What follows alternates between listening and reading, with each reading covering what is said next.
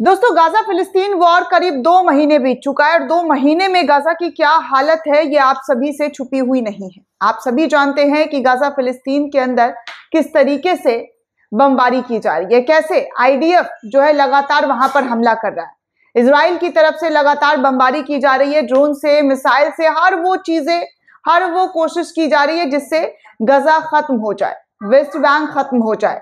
लेकिन अब तक, जी हाँ अब तक वहाँ पर मरने वालों की संख्या करीब करीब बताया जा रहा है। दोस्तों, अठारह हज़ार से ज़्यादा पार हो चुका है। ठंड भी अब लोगों की जाने ले रही है।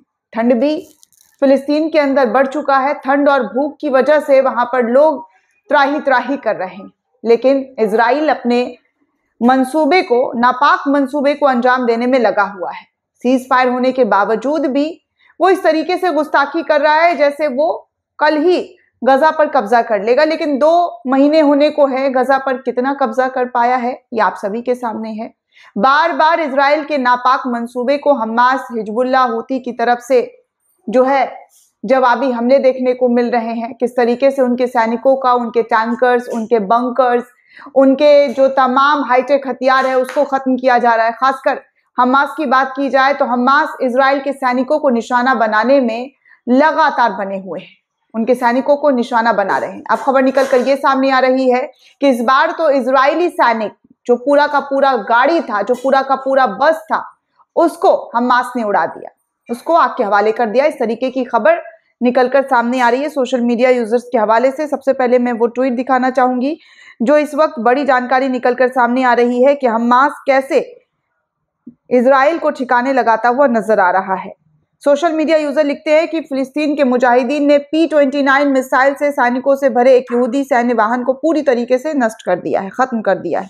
पूरा का पूरा सैन्य वाहन जो है भरा हुआ था इसराइली सैनिकों के ज़रिए, जिसको अब हमास की तरफ़ से, हमास के मुजाहिदीन ने पूरी तरीके से अपने मिसाइल से, जी हाँ दोस्तों पी ट्वेंटी नाइन मिसाइल से जो है तबाह बर्बाद कर दिया है।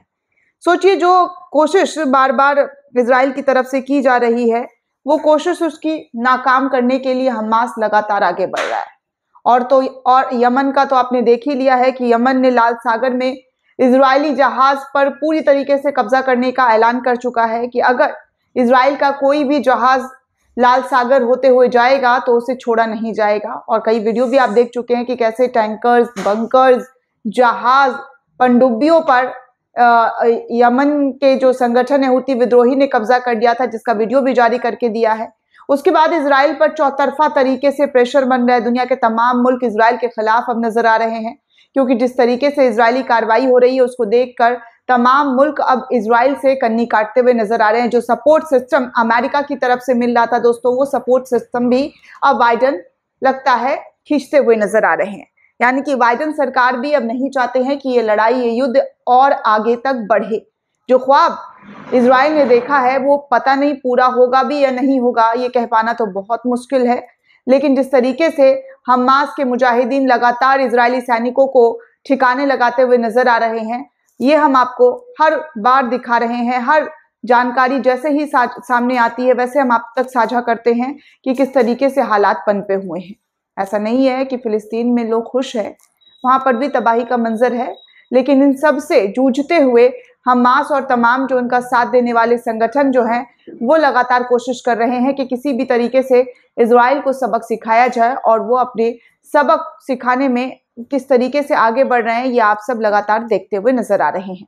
दोस्तों, इस पूरे रिपोर्ट को लेकर आप क्या सोचते हैं? आपकी क्या प्रतिक्रिया हमें कमेंट करके ज़रूर बताइएगा। साथ ही साथ चैनल को सब्सक्राइब करना बिल्कुल भी ना भूलें।